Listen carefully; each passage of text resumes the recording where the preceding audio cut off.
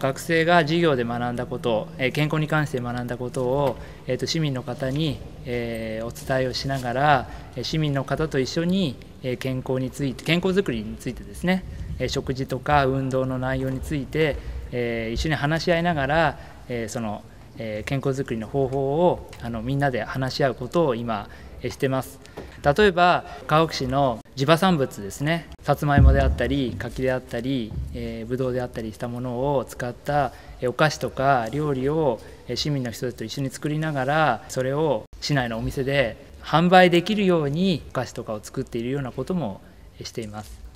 それから市内の。お年寄りを大学にお招きしてそれで体操教室を行ったり、えー、と健康測定を行ったりしてお年寄りの方と交流を深めながらあの健康に気遣っていただくようなポイントですね。を、えー、学生の目線からお年寄りの方にお伝えするようなことも行ってます。年に2回行ってるんですけれどもあの毎回100名を超える方があの参加されており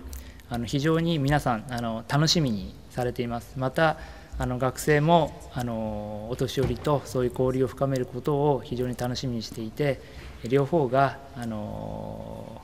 いい雰囲気で会をあの催すことができていると思います。